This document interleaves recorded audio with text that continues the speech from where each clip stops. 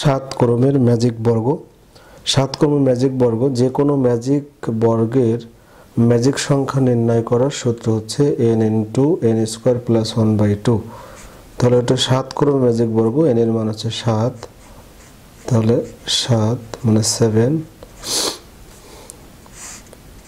Calculation করে আমরা magic সংখ্যাটা বের করি। উনপঞ্চাশ তাহলে সাত, এখানে হচ্ছে পঞ্চাশ হচ্ছে পঁচিশ, একশো পঁচাত্তর। এখন আমাদের ম্যাজিক সংখ্যাটা হবে হচ্ছে একশো পঁচাত্তর। এখন সাত কর্মের আমি বলছিলাম তিন কর্মের পাঁচ, সাত, নয় এগারো এভাবে বিজয় সংখ্যক ম্যাজিক বর্গের মানে একটাই নিয়ম এবং তা আমরা আগে আলোচনা করেছি। এখন দেখাচ্ছি সেই একটাই পদ্ধতি, লাঙল পদ্ধতি। প্রথমে আমরা সবচেয়ে প্রথম যে রোটা এবং একদম মাঝখানের কলামের প্রথম ঘর, একদম মাঝখানের ঘরটা থেকে শুরু করতে হবে, এক দিয়ে। এখান থেকে শুরু করলাম এক। তাহলে সেই লাঙ্গল পদ্ধতি আগে আমরা শিখছি, এখানে দুই হওয়া কথা। যেহেতু এখানে কোনো ঘর নাই, একদম এর বিপরীত দিকে চলে আসবে। এখানে দুই। তারপরে কোনা বরাবর এখানে তিন, এখানে চার। এখানে পাঁচ হবে, কিন্তু পাঁচের জন্য জায়গা নেই, তাই এর বিপরীত ঘরে বিপরীত পাশে যাবে তাহলে এখানে হচ্ছে পাঁচ।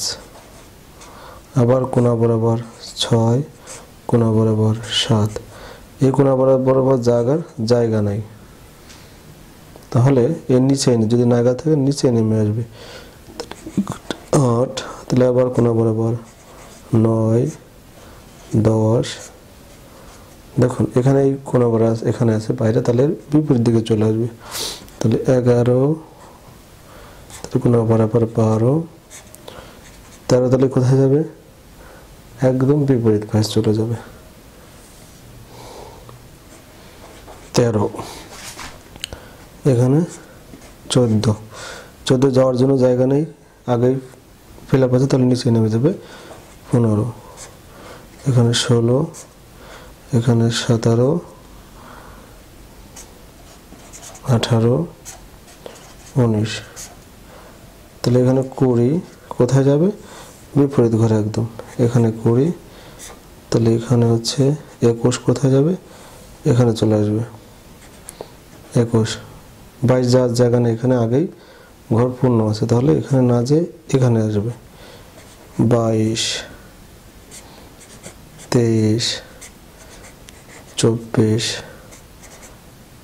পঁচিশ, ছাব্বিশ, সাতাশ, আঠাশ। এটা যেহেতু জায়গা নেই এখানে, এখানেও জায়গা নেই, এখানেও জায়গা নেই। নিচে নেমে আসবে। কোনায় বরাবর আসলে একদম এখানে নেমে যাবে।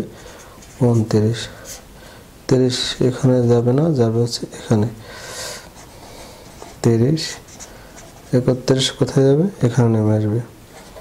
একত্রিশ, বত্রিশ, তেত্রিশ, চৌত্রিশ, পঁয়ত্রিশ। আবার এখানে আসবে ছত্রিশ সাঁত্রিশ আটত্রিশ কোথায় যাবে? বিপরীতে। তাহলে আটত্রিশ এখানে। আটত্রিশের পর উনচল্লিশ। চল্লিশ কোথায় যাবে? বিপরীতে।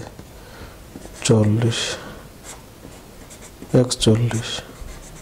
বিয়াল্লিশ। তাহলে বিয়াল্লিশ। তেতাল্লিশ যাওয়ার জায়গা নেই, তাহলে নিচে নেমে তেতাল্লিশ, এখানে। চুয়াল্লিশ। পঁয়তাল্লিশ। সাতচল্লিশ কোথায় যাবে? এখানে। সাতচল্লিশ। আটচল্লিশ। উনপঞ্চাশ, এখানে। দেখুন, যদি আপনার এক আর একই রাতে আসছে তখন আমরা আমার মিলে গেছে। এখন আমরা যোগ করে দেখতে পারি যে হয় কিনা একশো। এখন আমরা যদি এভাবেও যোগ করি, একশো পঁচাত্তর এভাবে যোগ করবে, একশো পঁচাত্তর এভাবে এভাবে প্রত্যেকটা একশো পঁচাত্তর হবে। অথবা এভাবেও যদি যোগ করি, প্রত্যেকটা একশো পঁচাত্তর। অথবা যদি কর্নার বরাবর করি, তো আমাদের একশো পঁচাত্তর হয়ে যাবে।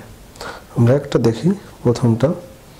যেন তিরিশ যোগ উনচল্লিশ যোগ আটচল্লিশ, যোগ এক, যোগ দশ, উনিশ, একশো পঁচাত্তর। করব। যেটা করব, হবে। এটাই ছিল আমাদের সাত ক্রমের ম্যাজিক পর্ব।